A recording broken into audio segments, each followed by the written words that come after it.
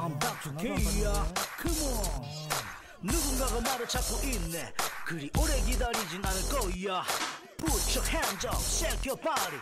Everybody say, everybody say ya.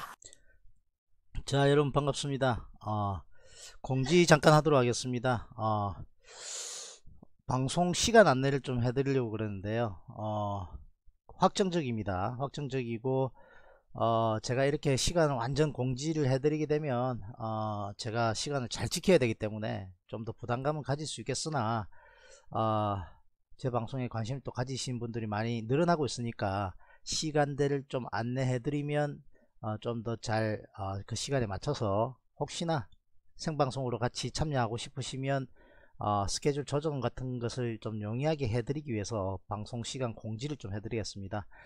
매주 그러니까 월요일부터 금요일까지 어, 세 가지 방송을 할 겁니다. 아침 오전 9시에 아침 스팟 시황 오늘 어, 장의 흐름에 대해서 아침에 잠깐 브리핑하는 시간 가지도록 하고요. 그 다음에 장 마치고 난 다음에 오후 4시부터 이것은 약간 유동적일 수는 있습니다. 오늘의 주식 시황 하루의 주식 시황 말씀드리는 시간 가질 거고요. 어, 오후 8시부터는 크루도일 실전 매매 방송할 것입니다.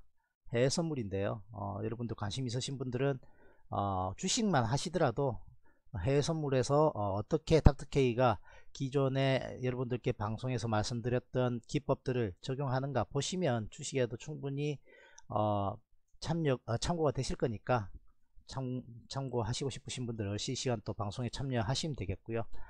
일요일 오전 11시에는 어, 종목 상담 및 그리고 어, 제가 기존에 뽑아놨던 종목들 어, 업종 대표주들 그리고 시총 상위 종목들 어, 분석해 나가는 시간들 가지면서 종목 상담 같이 해 보도록 하겠습니다.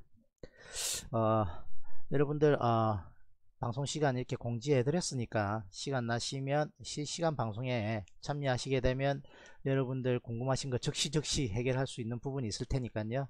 많은 참여 부탁드리겠습니다. 그럼 나중에 오늘 일요일이니까요. 오전 11시에 찾아뵙도록 하겠습니다 바이바이